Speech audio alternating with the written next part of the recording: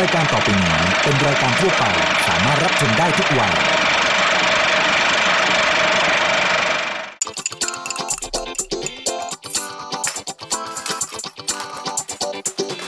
กินได้ กินไม่ได้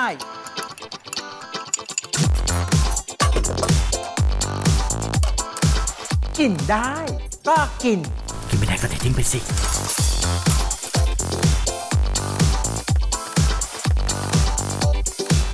นับสนุนโดยผลิตภัณฑ์ผลไม้ฟรุตเบรดและน้ำเชื่อมแต่งกลิ่นตราเนเจอร์เทส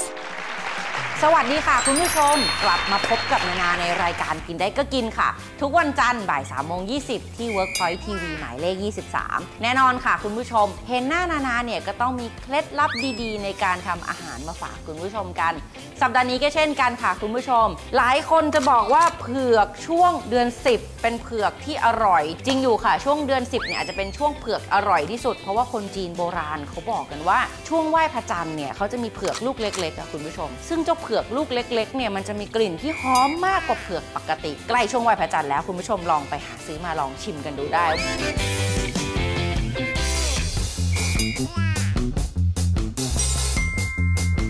วิธีการเลือกเผือกง่ายๆเนี่ยนะคะ ก็ดูหัวที่จับขึ้นมาเสร็จแล้วเขามีน้ำหนักจากนั้นเนี่ยก็กดค่ะ ใช้มือกดเบาๆ เราก็ดูอุ๊ย มีแมงเจาะมีอะไรไหมเผือกที่ดีเนี่ย เมื่อหั่นออกมาเสร็จแล้วควรจะมีใยสีม่วงๆ แบบนี้ขึ้นมาเผือกดิบมีสารพิษ เพราะฉะนั้นเนี่ยไม่สามารถกินดิบๆได้นะคุณผู้ชม ที่สำคัญนอกเหนือจากสารพิษแล้วเนี่ยนะคะเผือกดิบก็จะค่อนข้างเป็นอันตรายเช่นกัน เพราะว่าถ้าเกิดคุณจับเสร็จปุ๊บเนี่ยคุณอาจจะคัน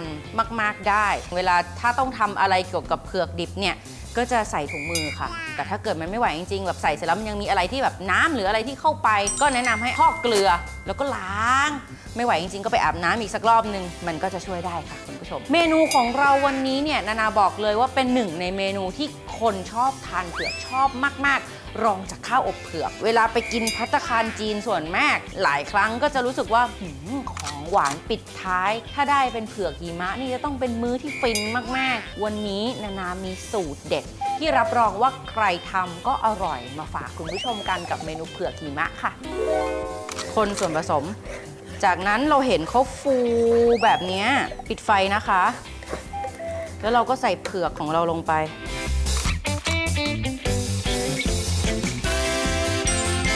ผือกหิมะที่ดีควรจะเกาะทั้งชิ้นของเผือกเรา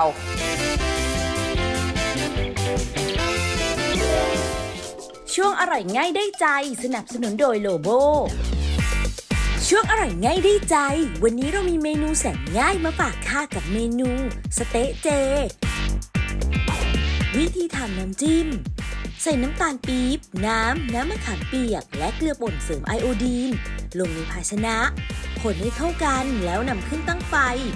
พอส่วนผสมข้นขึ้นให้ปิดไฟยกลง ใส่พริกขี้หนูแห้งทอดป่นหยาบคนให้เข้ากัน รอจนส่วนผสมเย็นแล้วตักใส่ภาชนะโรยถั่วลิสงคั่วป่นหยาบเตรียมไว้เป็นน้ำจิ้ม ใส่ผงหมักสเต๊ะราโลโบ น้ำและกะทิลงในภาชนะ ใส่โปรตีนเกษตรชนิดแผ่นกลม คลุกเคล้าให้เข้ากัน หมักทิ้งไว้ประมาณ 30 นาทีนำสเต๊ะเจมาหั่นเป็นชิ้นพอดีคำ จากนั้นนำมาเสียบไม้และนำไปย่างจนสุก จัดใส่ภาชนะ เพียงแค่นี้ก็พร้อมรับประทานแล้วค่ะกับเมนู สเต๊ะเจ เพียงแค่มีโลโบติดบ้านไว้ ไม่ว่าเมนูไหนก็เป็นไปได้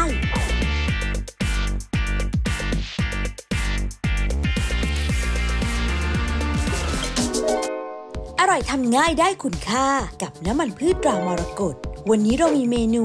ขนมปังไส้ชีสทอดมาฝากค่ะ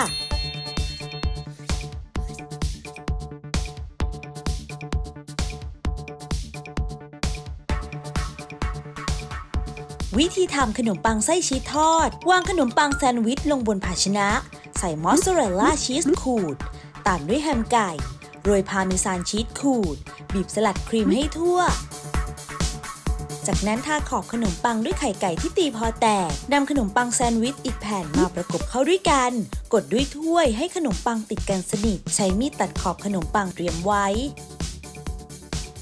นำขนมปังที่เตรียมไว้จุ่มลงในไข่ไก่ที่ตีพอแตก ตักขึ้นคลุกเกล็ดขนมปังป่น จากนั้นนำลงทอดในน้ำมันปาล์มตรามรกตที่อุ่นไว้ ทอดจนมีสีเหลืองทอง แล้วตักขึ้นพักให้เสด็จน้ำมัน จัดใส่ภาชนะ พร้อมเสิร์ฟค่ะ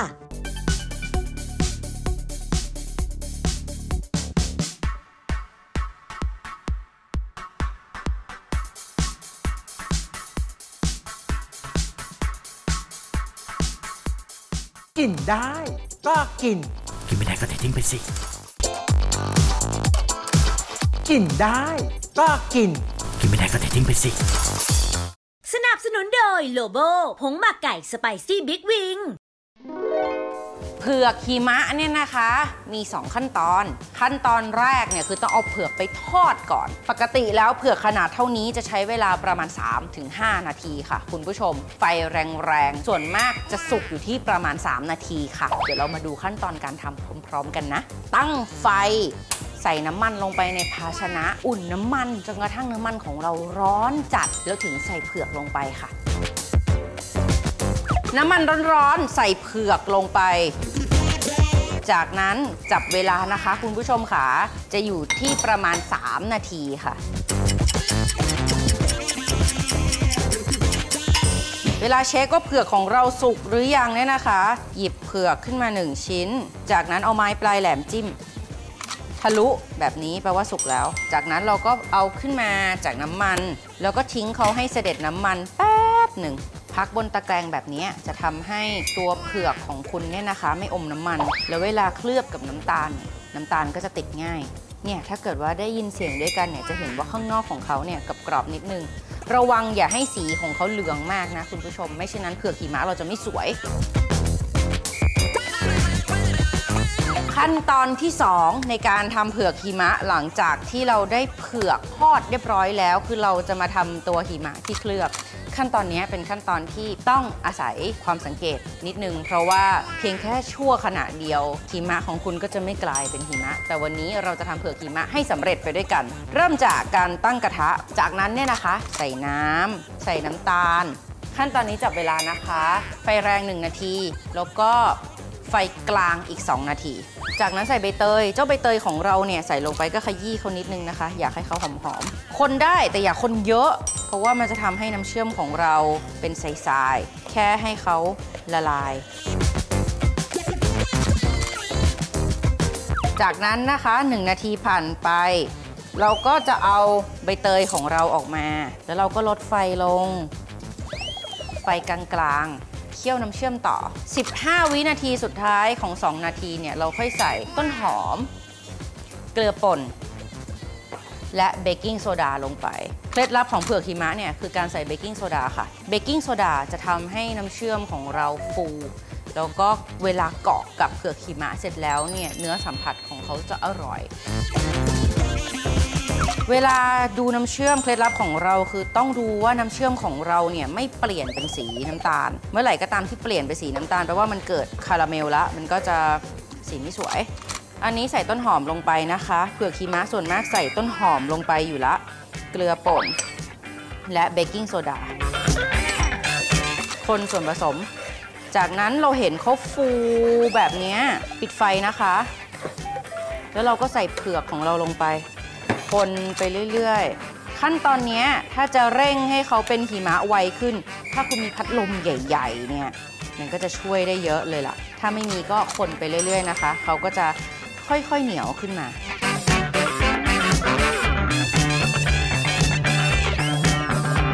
โอเค ผัดไปเรื่อยๆ เผือกของเราจะขึ้นเกล็ดแบบนี้ เผือกหิมะที่ดีควรจะเกาะทั้งชิ้นของเผือกเรา ราะฉะนั้นเนี่ยเวลาทำเนี่ยควรจะมีพาย 2 อันในการคนเขาเรื่อยๆ น้ำตาลเป็นสิ่งสำคัญมาก แค่ครึ่งนาที ก็ทำให้เผือกหิมะของคุณไม่เกาะกันได้ ทิ้งไว้นะคะจนกระทั่งเผือกหิมะของคุณเนี่ยกระจายตัวกัน ถ้าเขาไม่กระจายตัวเอาทัพพีของเราแซะออก เวลาเสิร์ฟเนี่ยนะคุณผู้ชมปกติพวกร้านอาหารจีนเขาก็จะนิยมหยิบเผือกของเราเนี่ยเรียงเป็นชิ้นๆแบบนี้ หลังจากนี้ถ้าเกิดไปกินเผือกหิมะที่ไหนนานาก็จะรู้สึกว่าพร้อมจ่าย เพราะว่าเข้าใจดีว่าเขาเหนื่อยแค่ไหนในการทำเรียบร้อยแล้วค่ะเผือกหิมะปกติเนี่ยนะคะ เวลาเสิร์ฟของหวานเช่นเผือกหิมะเนี่ยเขาก็มักจะนิยมเสิร์ฟคู่กับพวกชาร้อนๆเพราะว่าเจ้าเผือกหิมะมีรสหวานจัดทานเข้ากับชาร้อนๆเนี่ยจะเป็นการปิดมื้ออาหารที่อร่อยมากๆเลยล่ะ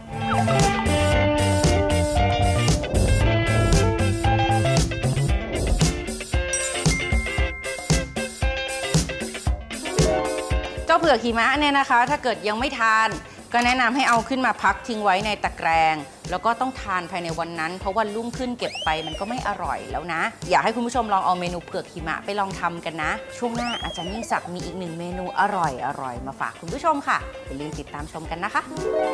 อันนี้บะหมี่สามลูกเดี๋ยวนี้ลูกเล็กลงโอ้ยตายแล้วเมื่อก่อนลูกเดียวจุกเดี๋ยวนี้ต้องสามลูกนะไม่ใช่ฉันตัวใหญ่ขึ้นนะคุณผู้ชม ไม่พอกินอะ ส่ลงไปคุณผู้ชมเจ้าขาโรยๆแบบนี้ ให้เส้นเนี่ยค่อยๆเลื้อยลงไปในน้ำร้อนๆ อย่าเฟี้ยงลงไปทั้งก้อนนะคุณผู้ชมไม่ได้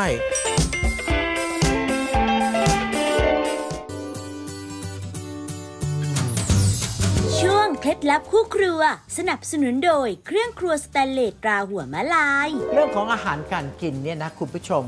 คนเรานี่ก็ช่างสรรหานะ มีการปรับปรุงเปลี่ยนแปลงวัตถุดิบตามธรรมชาติ ให้เก็บได้นาน แถมยังมีรสชาติอร่อยขึ้นด้วยนะ อย่างเช่นผักกาดเค็มตากแห้งเนี่ยคุณผู้ชม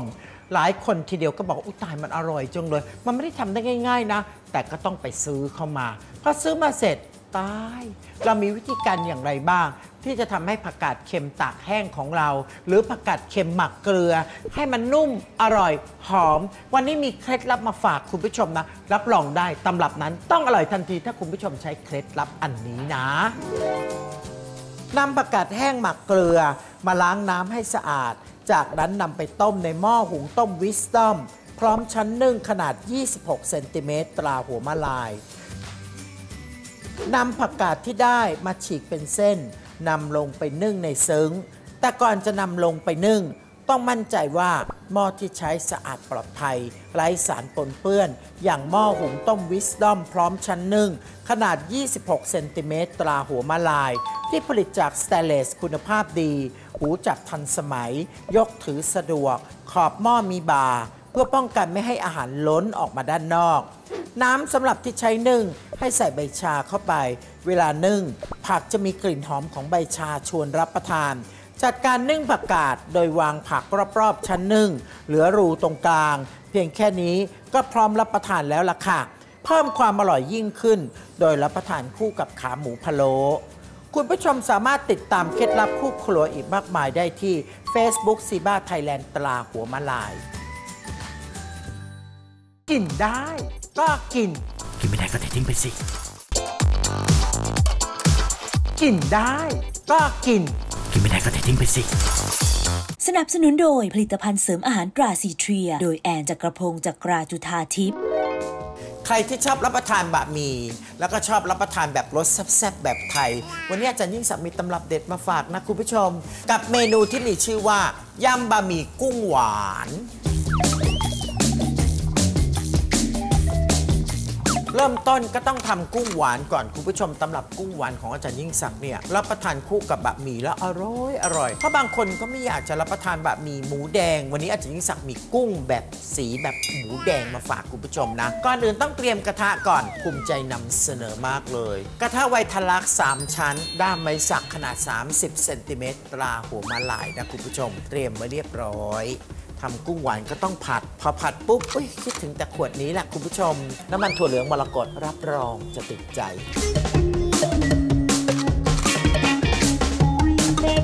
ใส่น้ำมันเสร็จไม่รีรอ รากผักชีกระเทียมแล้วก็พริกไทย คุณผู้ชมชอบพริกไทยเยอะๆ ก็ใส่ได้นะ จัดการใส่ให้แบบบุบบุบหยาบๆโอ้ยมันจะยิ่งแบบอร่อย แล้วก็หอมๆนะคุณผู้ชม ตอนนี้กุ้งมีขายเต็มบ้านเต็มเมืองเลย ราคาก็ไม่แพงตัวใหญ่ใหญ่โลนึงไม่กี่ร้อย คุณผู้ชม ใส่กุ้งสดลงไปนะ คุณผู้ชม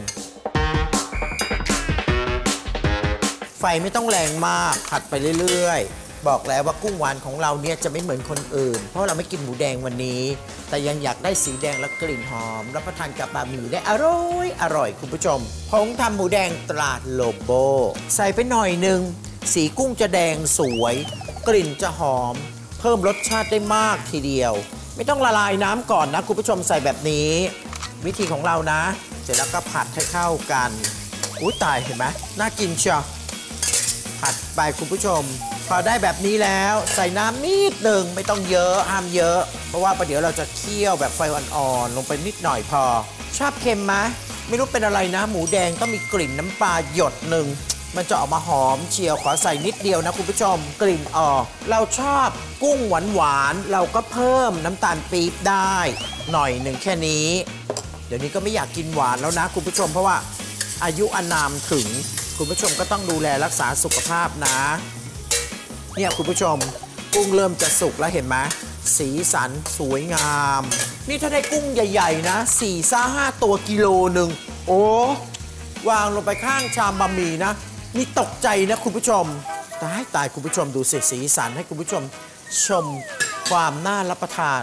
น่ากินนะคุณผู้ชม หอมมากเลยแหละ โอ้ยใช้ได้แล้วล่ะ กุ้งหวานตำรับพิเศษของเรา ขั้นตอนต่อไป เราจะต้องทำบะหมี่ที่มันแซ่บมาก ๆ ต้องเรียนคุณผู้ชมว่าก่อนที่จะจัดการ ลวกบะหมี่แล้วก็รับประทานต้องเตรียมน้ำจิ้มแซ่บก่อน แล้ววันนี้ก็อยากจะบอกกับคุณผู้ชมว่าเรามีสูตรของน้ำจิ้มแซ่บที่ดีดีๆมาฝากคุณผู้ชม ก็จัดการใส่น้ำตาลปี๊บเนี่ยลงไปในโถปั่นของเราซะก่อนนะคุณผู้ชม อยากให้คุณผู้ชมเนี่ยเอาสูตรนี้ไป จะได้ไม่ต้องไปซื้อน้ำจิ้มซีฟู้ดอะรากผักชีล้างสะอาดหมดขี้ดิน สะอาดแน่นอนคุณผู้ชมเพราะว่า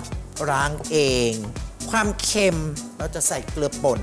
ต้องมีเกลือนิดหนึ่ง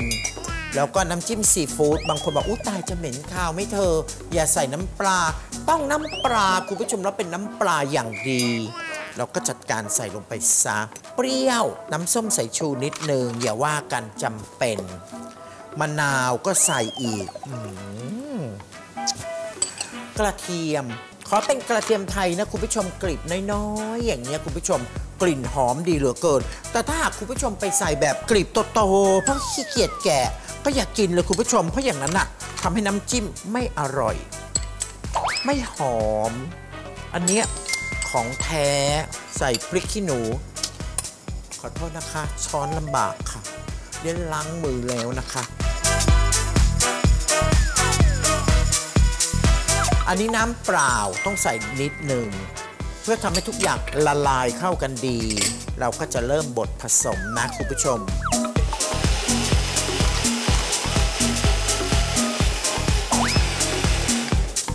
เสร็จเรียบร้อยแล้วคุณผู้ชม น้ำจิ้มสำหรับการทำยำบะหมี่สูตรแซ่บของเรา เอาแค่ติดตรงเนี้ยเดี๋ยวลวกบะหมี่เลย เสิร์ฟบะหมี่ตำรับของเรานะคุณผู้ชม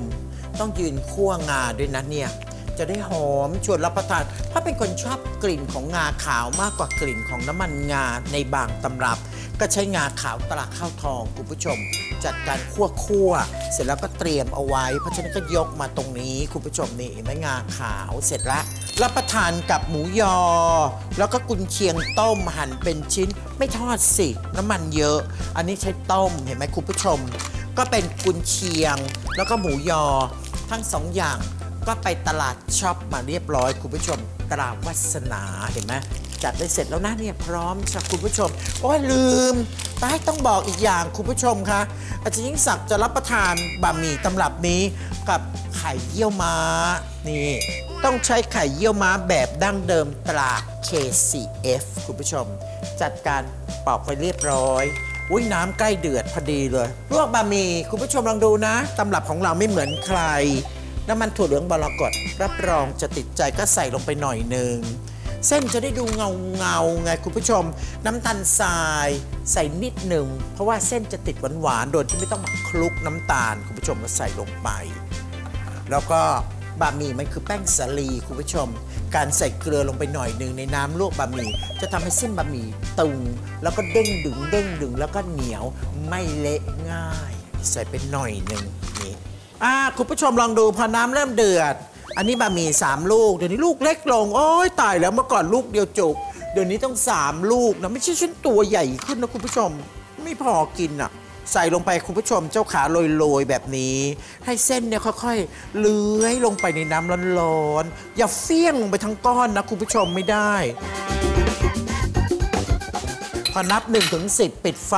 ช้อนบะหมี่ขึ้นทันทีเลยค่ะ นี่ นี่ค่ะสูตรวิธีการลวกบะหมี่ นับ1ถึง10ค่ะ เส้นจะไม่เละค่ะในถ้วยบะหมี่ที่ยังเปียกๆ และยังร้อนๆอยู่ น้ำมันกระเทียมเจียว นิดหน่อยซีอิ๊วขาวชอบไหมนิดหนึ่งถ้าไม่ชอบคุณผู้ชมก็ไม่ต้องอะตะกุย ตะกุย คุณผู้ชมเห็นไหมคะบะหมี่เส้นกำลังฝอยๆแบบนี้ช็อกมาเลยค่ะ คุณผู้ชมเจ้าค่ะช็อกมาเลยค่ะ สุกปุ๊บโดนแบบนี้ค่ะ น้ำจิ้มซีฟู้ดค่ะนี่เสร็จแล้วก็รีบคลุก นี่เห็นไหมคุณผู้ชม น้ำจิ้มซีฟู้ดนี่ลงไปอยู่ในบะหมี่นะเนี่ย เป็นยำบะหมี่ที่แซ่บที่สุดค่ะตั้งชัยตามสไตล์ก๋วยเตี๋ยวแบบจีนๆ ใส่หน่อยนึงพอหอมๆกระเทียมเจียวโอ้ยน่ากินอะ ผักแครอท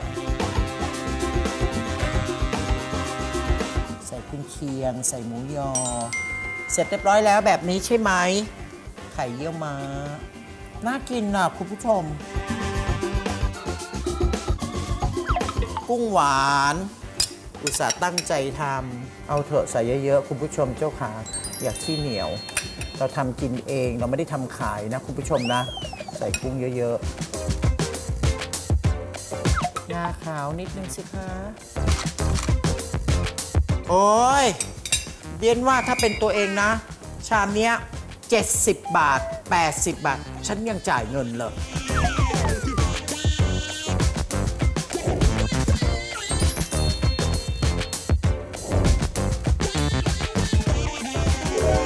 ถ้ายืนนานกว่านี้มันก็จะเซ็งไม่เป็นรถคงต้องรีบไปรับประทาน จะได้รีบลาคุณผู้ชมไง คุณผู้ชมอย่าลืมนะ ติดตามชมรายการของเราได้ใหม่ วันจันทร์หน้าบ่ายสามโมงยีทาง Workpoint ช่อง 23 วันนี้ลาคุณผู้ชมไปก่อนนะคะ สวัสดีค่ะ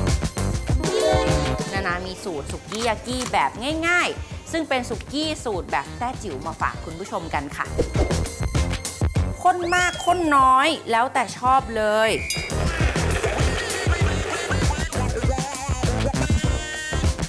ตำรับชื่อว่าหมูบาดาลเนี่ยรับประทานคู่กับน้ำจิ้มแจ่ว